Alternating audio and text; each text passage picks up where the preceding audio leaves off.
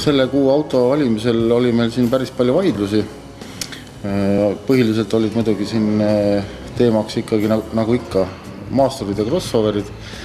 aga kuna me nüüd eelmine kuu valisime sellise kallima otsa maasturi, siis me mõtlesime, et seekord siis võiks, võiks nagu võtta just sellise teise, teise äärmuse ehk siis ühe sellise kõige odavama uustulnuka maasturite klassis ja, ja, ja selleks siis lõpuks siis sai Suzuki Vitara. ja, ja noh, Vitara on selles mõttes äh,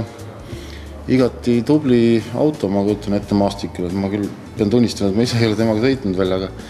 aga arvestades seda, et tema tühimass on ju alla tuhande kahesaja kilo ainult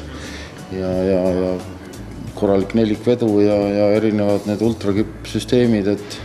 noh, ma usun, et äh, maastikul peaks auto ennast igati õigustama, et sina oled temaga sõitnud, et ma ei tea, mis sa arvad? Vidara on jah, selline auto, mida ilmselt äh, vanadest aegadest päris paljud mäletavad, et mõnel aja, mõned aastad tagasi, aastakümneid tagasi oli ju samasugune tegija nagu praegu Škoda superpolitsei autona, aga noh, seekord loomulikult ajad on teised ja seda otstarvet täitma ei hakka. maastikul sööb see auto tõesti oma hinnale vastavalt ja rohkemgi tööd ära. üldse hinna ja varustuse suhe on see asi, mille pärast see auto ka väga silma torkas, sest et kui seda varustusnimekirja vaadata, siis sealt leidis ikka selliseid asju, mida selle klassi autodelt tegelikult väga ei ootakski. noh, välimus samuti, et toob silma ette nii vana klassikalise Vidara kui ka need uuemad mudelid ja ma kujutan ette, et olukorras, kus Suzuki on siin vahepeal pildilt ikkagi üsna ära olnud, on sellel autol eeldused ta sinna pildile tagasi tuua. noh, väikene tõrv sinna amepotti muidugi ka ikkagi, et, et auto on odav ja noh, kuskilt peab see välja lööma ja kui, kui välimusest sellest aru ei saa, siis sisemuses kahtlemata see välja tuleb, aga, aga taas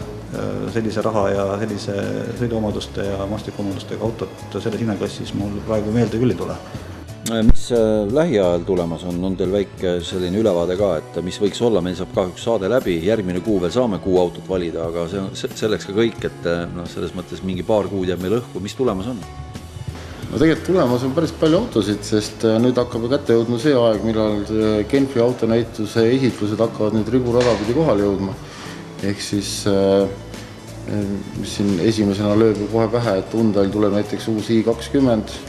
mis on tõenäoliselt päris, päris huvitav auto. Mazdal tuli uus kaks, ütleme siin väikeautode klassis on päris mitu. autode lõikus oli Genfis päris korralik, noh loomulikult crossoverid, maasturid, need ei kao kuskile, nii et selles mõttes on kahju, et see Sattari meil just nüüd läbi saab, kui korralik lõikus hakkab just tulema, aga eks loodet-, loodetavasti läheme sügise poole edasi, sest et elu näitab, et ühtegi sellist kuud, kus me ajakirjas ei peaks veergu nüüd Eestis millegagi ära täitma, seda pole veel juhtunud, alati on seal vähemalt viis-kuus autot võtta ja ma usun, et valida on ka edaspidi